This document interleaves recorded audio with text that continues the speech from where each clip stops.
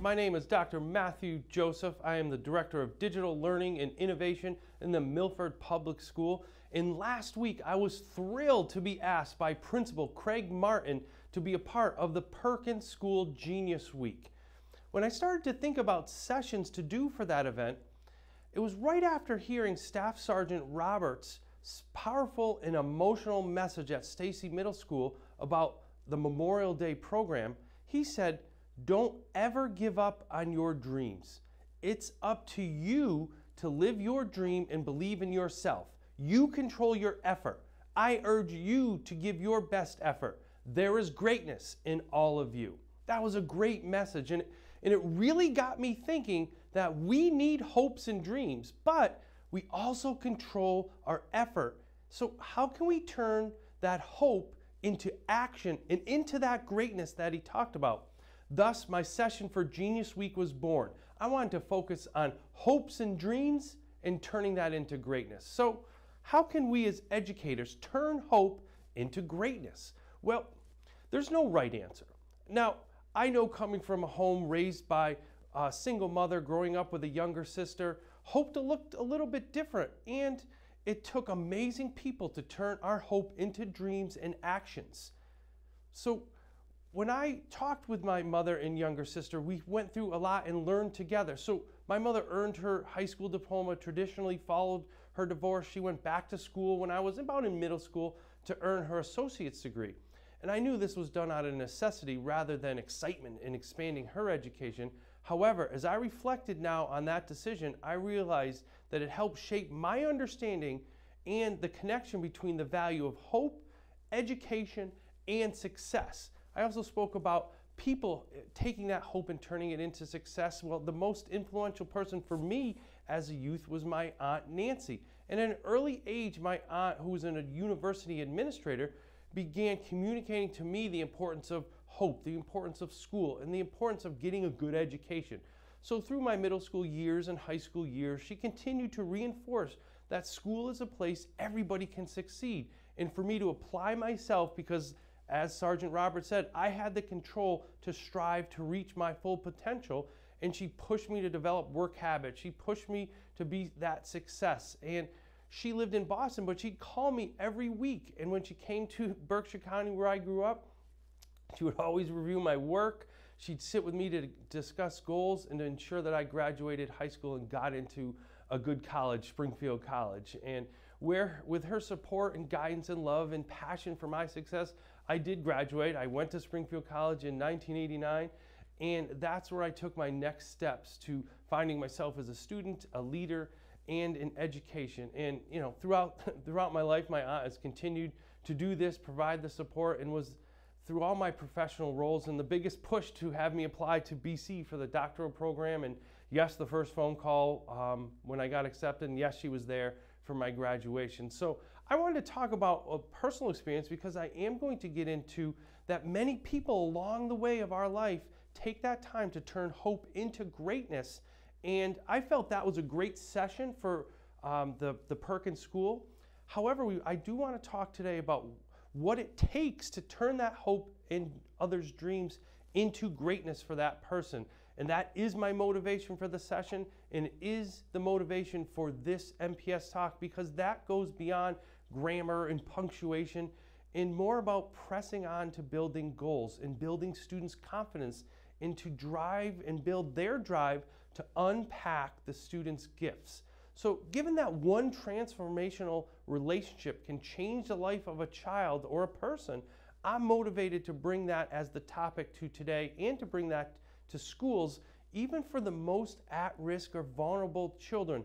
This hope can be turned into greatness. So, in my reading about this topic, I read that students who are high in hope have a greater academic success, stronger friendships, and demonstrate more creativity and better problem solving.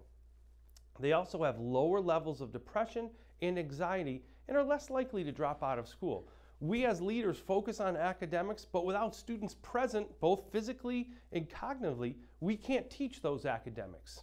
In school, hope is a critical first step for students to identify goals and develop strategies.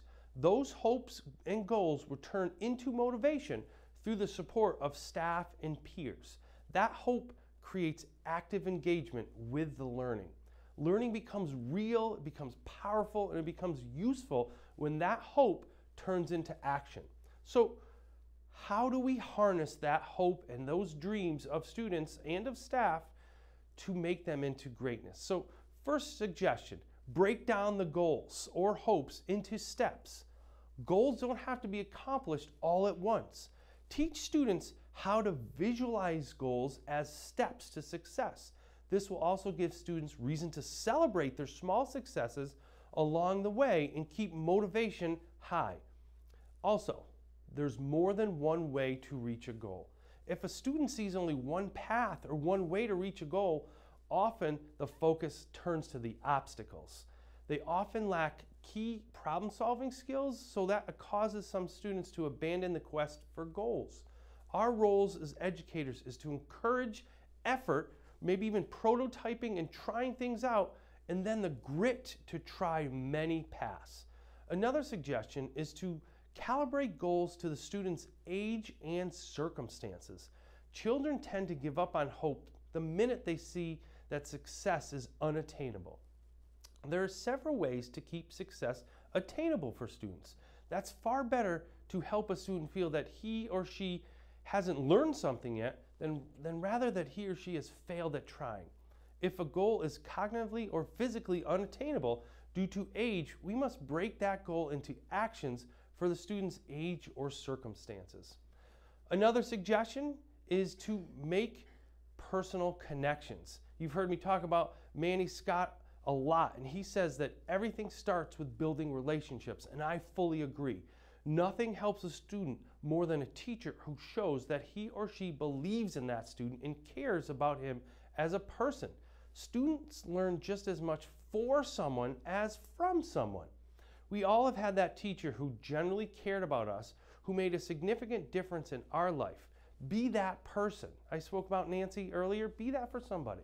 Celebrate success is another suggestion. Focus more on what a student does right rather than what he or she does wrong. Students can only absorb a limited amount of correction, so limit yourself to focus on feedback that enhances growth and celebrate the success and effort. Another suggestion is to be passionate. Who are those individuals that you admire? And I bet you that those people perform with genuine passion. Passion is contagious. I spoke about uh, Manny Scott earlier in the MPS talks. Uh, he and General Colin Powell were keynote speakers at ASCD Empower 18 in Boston, and their message was powerful because of their passion. Um, last summer, I attended the Model Schools event um, West, Weston Kieschnick.